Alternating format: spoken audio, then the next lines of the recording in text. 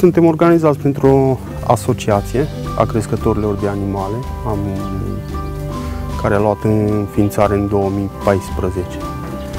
Am decis să facem o asociație pentru a ajuta în principal fermierii mici și pentru a ne asigura un viitor în creșterea animalelor. Suntem 54 uh, de membri fondatori, din care în parcursul celor 2 ani de la înființare au mai venit, au mai primit membri, suntem 67 Oamenii la început au înțeles că asocierea este unicul lucru în care poți avea încredere și cu care poți prospera.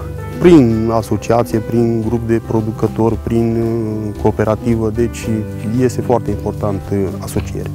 Aproape 2 ani de zile de la înființare, membrii asociației s-au dezvoltat cu peste 100 de vaci. Punctul de colectare este principalul punct de plecare a unui fermier, a unui producător de lapte.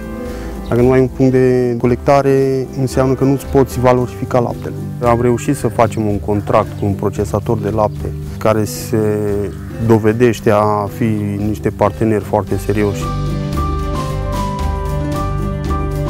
Pe piața laptelui la producător se plătește cu 60 de bani, 65 de bani pe litru. Noi luăm, în condițiile actuale, luăm un leu, un leu și pe litru de lapte.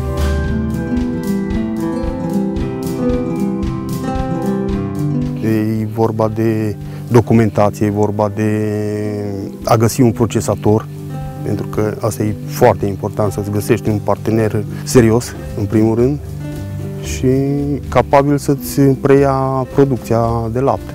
Autorizația punctului de un lucru destul de greu, având în vedere că sunt anumite cerințe care se impun pentru a autoriza un punct de colectare din punct de vedere sanitar, veterinar. Din fericire pentru noi avem două fundații care acționează în zonă, Fundația ADEPT și Fundația MET. Fundația MET uh, ne-a asigurat uh, deja clădirea, punctul unde se colectează laptele. Fundația Adept ne-a ajutat cu răcitoarele de colectare unde depozităm laptele să se mențină la o temperatură constantă ne-au ajutat cu aparate de analiză de control al laptelui. Vorbim cu cele două uh, fundații. Am pus la cale să facem un punct de procesare a laptelui.